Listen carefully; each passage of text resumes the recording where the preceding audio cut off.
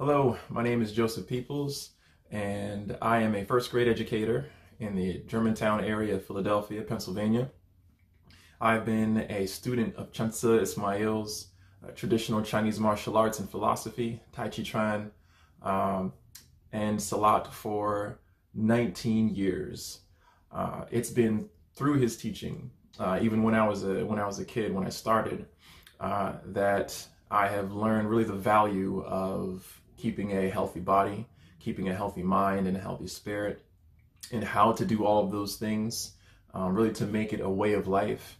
And it's also been through his teaching that I that I found my profession as well. Um, that I found my profession, my personal profession of, of being being an educator. Uh, it's been through the meditations that I've learned from Chaantzu Ismail that have um, calmed my mind in, in difficult times and even pushed my mind as well and pushed me to achieve you know even greater heights and even higher potential. And it's all of those philosophies really that have worked for me that I bring into my profession that I bring into the classroom that I bring to uh, my students. Um, whether they are a a student that is you know uh, ready to achieve their highest that are that is is ready and prepared with all the resources that they need to do so or if it's a student that is struggling and, and lacks those resources um, in all those areas. Truly, Chaantzu Ismail's teachings have, have helped me and have guided me towards just a path that has been right for me and a path that has been righteous. Thank you. Tell me about Ismail Saadat. Shantu, there's the martial artist and then there's the man. As a martial artist, I think the consensus, even among fighters of other disciplines, was that he was extremely talented and skilled. But honestly, I learned more from him as a person than anything else. Those are lessons I remember. How so? First of all, he was probably the most naturally funny person I've ever met. Not like a comedian who thinks of jokes, but it was all organic. This was quite useful because it made it easy for people to accept his advice. And I'm smiling right now because I'm thinking of things that he told me when I was in class. As a teacher, however, the biggest lessons I learned were by example. He never taught us something unless he believed it in himself. If he showed you technique, it was because he tried that technique and it worked. If he preached kindness, it's because he was kind. And if he talked about honesty, you'd see that very quality when dealing with him if there was a problem or even with money. His lessons matched his actions. I know this sounds really simplistic, but that conviction, I think, is what made him so effective. It's probably the reason why he had attracted so many people. His classes were typically diverse, people from all different backgrounds and nationalities. What's that quote that you love? There are many. Uh, my best friend and I still recite them until today. But the one that stayed with me the most was a subtle remark he once made during class. He was advocating to us about the pursuit of excellence in all avenues, whether it was your job or kung fu or your family, and even doing the right thing, even if it got you into trouble. And he said something that I'll never forget. I'm going to paraphrase this, but it's the one quote I remember the most.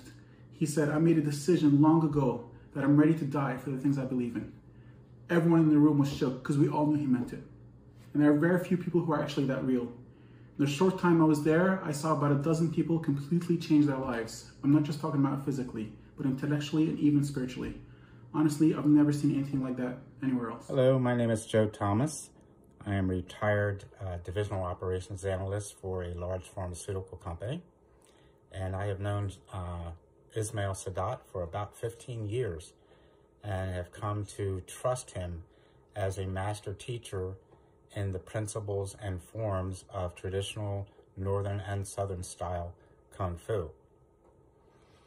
I particularly trust him to teach us um, not only how to do the forms and the physical aspect, but how to live the spiritual aspect. He is a man of impeccable moral principles and lives as well as teaches these principles to us. I'm very, very thankful to have him as my teacher. Um, I wholeheartedly trust him and have seen him work with children, teenagers, and adults, helping them become better people. And it certainly has made a tremendous impact in my life. And I'm really glad to call him my master teacher and to uh, follow his example of living these principles in my life every day. Thank you. Hello, my name is Rich Fulmer. I've had the great fortune to be a student under Chaantzu Ismail Saadat for the last 18 years. Over this time, Chansu has been there for myself and other students, not only as a teacher of the art of Shaolin Kung Fu, but as a mentor in all aspects of life. Chansu has always been a trustworthy advocate and resource for any of his students and their families. As a full time registered nurse working in a hospital throughout this year's pandemic, a key aspect of my job has been to re- remain calm, continually observe, and stay sharp in my actions during emergency situations. And through Chansu's teachings, I have been able to master the task of controlling my mind and emotions in the most extreme circumstances, as well as acting as a role model to my peers.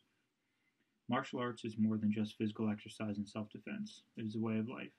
The skills acquired can be transferred to any situation you may encounter. The way Chansu teaches these lessons, leads by example, and believes all the lessons that he teaches us is what helps us succeed in all aspects of life.